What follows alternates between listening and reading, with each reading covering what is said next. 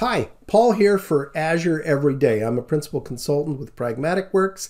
Lately, we're seeing a lot of new interest in paginated reports, and I wanted to use a couple of examples to talk about what that is and what your options are for using it. So, what is paginated reports? Well, had a brand new client. They're brand new to the Microsoft BI platform, and they said, We have just set up a Power BI subscription. We have several hundred users, and so we set up a dedicated capacity tenant with Power BI premium license. And we want to know what our options are now to implement operational or what they call pixel perfect reports alongside their interactive self service Power BI reports. And uh, of course, paginated reports is the answer for that. Another new client said they just learned about paginated reports, a brand new feature that is integrated with with Power BI, but they're a little reluctant to use new software for their production operational reporting. Well, I'm going to let you in on a little secret.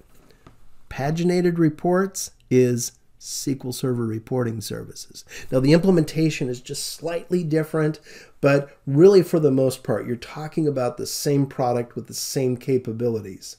What's reporting services? Well, I've been writing books about reporting services for over 15 years. I don't say that to brag. I'm just trying to make the point that SQL Server Reporting Services is a very mature reporting product that's been around for a long time. Now, it's not ultra modern. It's not super interactive, but it's bulletproof operational reporting that is really optimized to create the types of reports that we've been using for a long, long time, namely printable reports that fit perfectly within the margins that produce multiple pages, things like invoices and manifests and labels, stuff that we've been doing for a long, long time. Optimized for printing, but also viewable on a screen. Whereas Power BI is really optimized for interactivity. It's also optimized for analytics and for self-service. Power BI reports are typically more visual. When you click on something, it slices and interacts, and so it's a more interactive experience. Not optimized so much for printing and for creating multi page reports, but for an interactive analytic experience. All right, well, you have three different options to use paginated reports alongside Power BI interactive reports. Option number one, continue to use reporting services like we always have installed in your own report server on-prem. Advantages are that it's the same product. There's a lot of experience with that.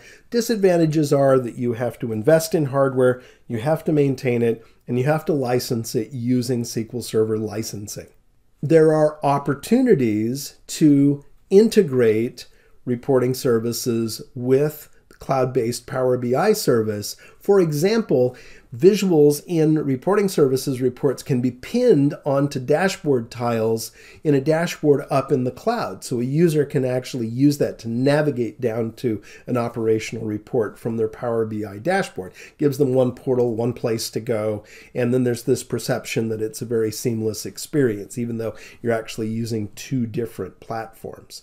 Option number two, Power BI Report Server. Now, this is an on prem implementation of a report server that will host both reporting services reports, that's your operational or pixel perfect type paginated reports, and Power BI reports. And there may be uh, a lot of advantages to doing that if you are restricted from using the cloud or if perhaps leadership has some aversion to using the cloud, but there are also some disadvantages. Uh, first disadvantage the licensing is, is not particularly inexpensive. Um, you need to either have a SQL Server Enterprise license plus a software assurance contract with Microsoft, or if you are a Power BI premium cloud based subscription customer, then you can also install the Power BI report server. The second disadvantage is that Microsoft is shipping all of their new products cloud first. That's where the new features go. The release cadence is very fast all the new stuff goes to the cloud. It's very secure, very reliable, and it can be very cost effective through a subscription based model rather than products that you purchase and you install and maintain on your own. And as new features come out, they're going to go to the cloud first, and then the release cadence is much slower to get to uh, on prem. And a lot of those features may not ever make it to the box or the on prem product. So all the good stuff is up in the cloud. Option number three using paginated reports in the Power BI service in the cloud entirely. No hardware to buy, nothing to maintain. Everything is up in the Azure cloud. You simply pay a monthly subscription fee. Now, it is a premium only feature right now, which means that the cost is going to be a few thousand dollars every month. And that's typically cost effective when you have more than just a, a few hundred users.